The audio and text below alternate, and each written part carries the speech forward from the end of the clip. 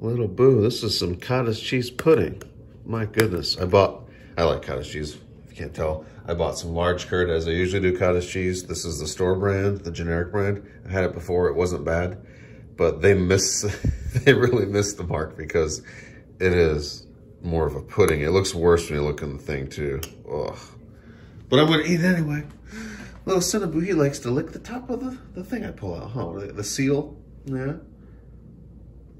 you know, dairy can be bad for a cat, so very limited amounts is all right. Hold on, but yeah, making a mess over there.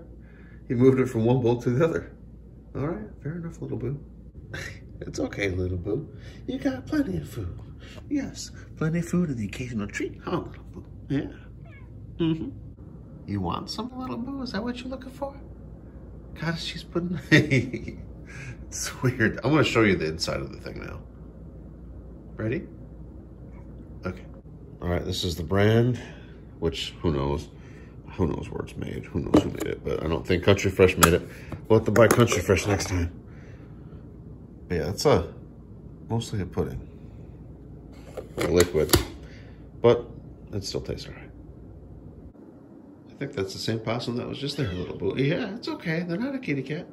Sniff around. They'll find some food out there, that's for sure. Or she.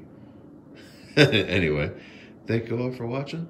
We hope we're doing well and being safe out there and keeping an eye out for critters like we are. Bye-bye. That's all right, Boo. Maybe they bar in your house. Yeah, that's Section 8 now, little Boo. Yeah. Well, see? There we go.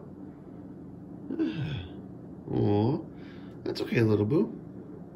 Everybody deserves a home. Oh, he's coming out. Or she, they.